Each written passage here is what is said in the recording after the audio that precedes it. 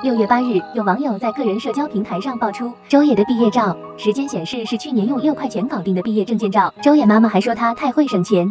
旁边还晒是在街边小馆拍的，一般证件照是不会有精修 P 图的，更何况只花了六块钱，这就是天然无公害。头发就是那么简单的挽在耳后，端坐在镜头前，没有滤镜，美颜，白白净净，自然俏丽，看起来很舒服，底子好的让人羡慕。有网友表示，颜值确实太能打了。周也十九岁就主演了青春文艺电影，难以置信，这也是他首次登上电影荧幕。后来主演我们的西南联大，但反响平平，没有激起水花。不过随后合作《少年的你》上映，虽然不是主角，但凭借塑造的形象的精准。周也凭该角色入围了第三十五届大众电影百花奖和金鸡奖最佳女配角提名名单，从而正式走入大众视野。与张哲瀚、龚俊合作出演古装武侠剧《山河令》，饰演古灵精怪的小魔女故乡。前期本不被看好的剧，没想到爆红，周也从而踏入顶流圈子。期待周也有更多优秀作品。